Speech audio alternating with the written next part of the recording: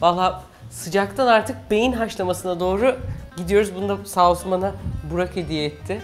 Oh böyle keyifle Bugün ne yapacağız? Bizim ekipte Yağız var. Daha doğrusu Yağız aslında okulda okuyor, öğrenci. Ve arada parasının bir kısmını Subway'e veriyor. Ve Subway sandviçlerinden. Hangisini en çok seviyorsun dedik. Melt dedi.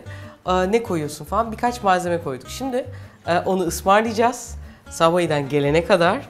Bakalım biz güzelini yapabilecek miyiz? Merhabalar sipariş verebilir miyim? Melt diye bir tane sandviç varmış. Ondan istiyorum. 30 santim. Ekmeğimiz kekikli var galiba bir tane. Cheddar olsun. Marul olsun. Mısır olsun. Soğan olsun. Melt'teki etler neydi? Hindi göğüs, hindi jambon var. Cips olsun. Ne kadar ediyor? 28 lira ödeme şekli Nakit. Sağ olun, teşekkürler. Kaç dakikada gelir diye sormadım. 25 dakika falan. Hadi başlıyorum. Bu sandviçin en önemli özelliği ekmeği dediler.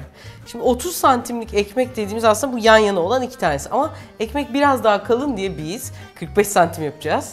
Ve de onun maliyetine bakalım. Yani 3 tane aslında böyle küçük sandviç gibi olacak. Burada ekmeği lezzetli hale getirmem lazım. Onun için e, kekikli ve parmesanlıymış bu ekmek. Ve de hafif bir tatlılığı var. Hızlı yemek sektöründe ekmeği biraz daha bilerek şekerli yapıyorlar ki daha fazla yensin, daha böyle yemeğe doyulmasın. O yüzden bu hazır minik sandviç ekmeği veya işte hot dog ekmeği falan filan.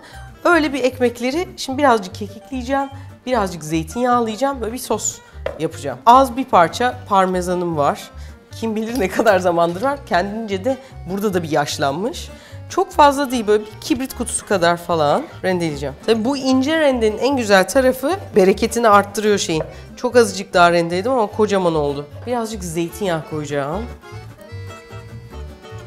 3 çorba kaşığı kadar her bir tanesinin bit, bit biraz lazım.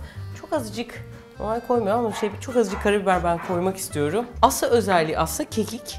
Kekik de bilye kekik. Bu bilye kekiği böyle koyuyorum ve şöyle çat çat çat inceltiyorum epeyce kuvvetli lezzeti, tadı. Şöyle üstünden geçiyorum.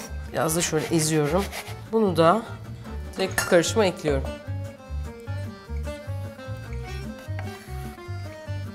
Böyle elimle biraz karıştırdım.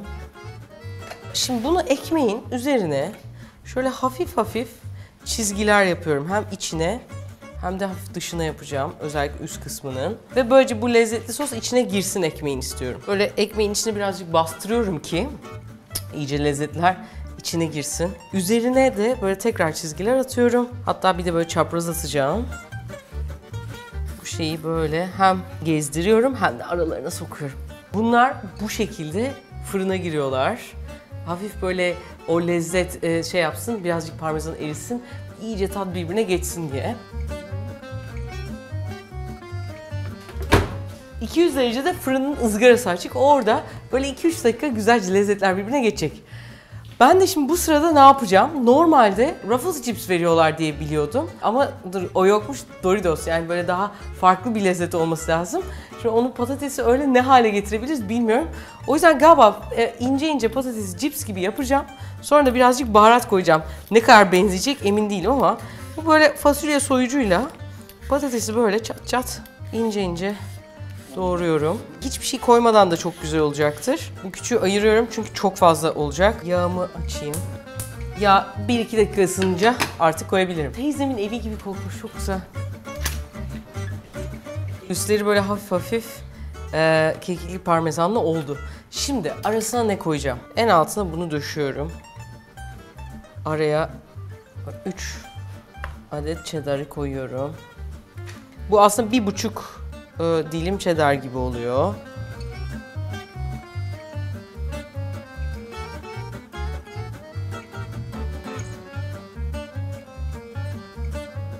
Bir kat daha peynir koyacağım.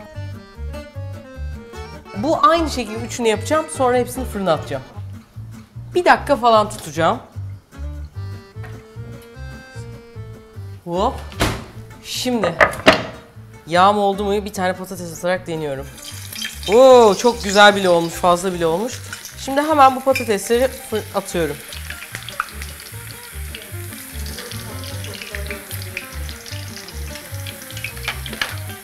Yağını güzelce süzüyorum.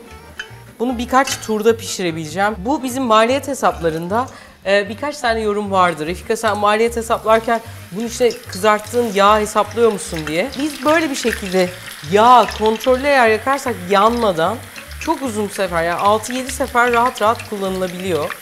Ee, ama orada ısısını çok iyi ayarlamak gerekiyor. Maliyeti ona böldüğünüzde de bayağı daha hesaplı oluyor. Bu cips bir de hiç trans yağ falan da içermeyen bir cips oluyor. Dırıt dırırıt. Melted'lar gerçekten erimiş. Güzelce. Bunun üzerine gelelim heyecanlı kısmına. Soğan son dakika şey yaptık. Ee, arkadan sağ olsun Burak getirdi. Şöyle soğan nasıl koyuyorlar bilmiyorum ama ben şöyle yuvarlak yuvarlak koyuyorum. Üzerine üçünde böyle marullar koyacağım.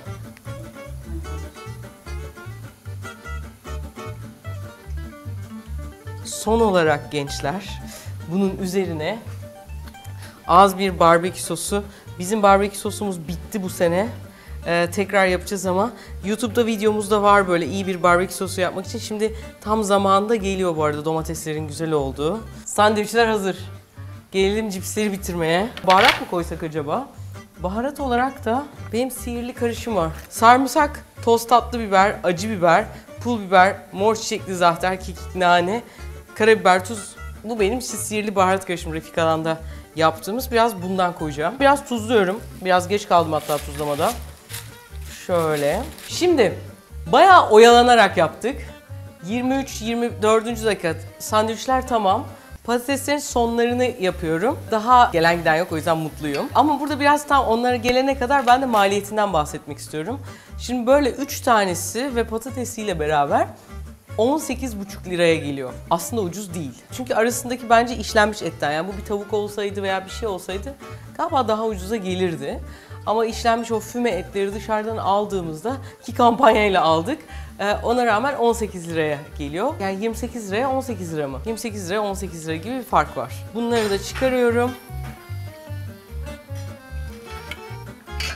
Ve böyle cips bu arada hem yapması çok kolay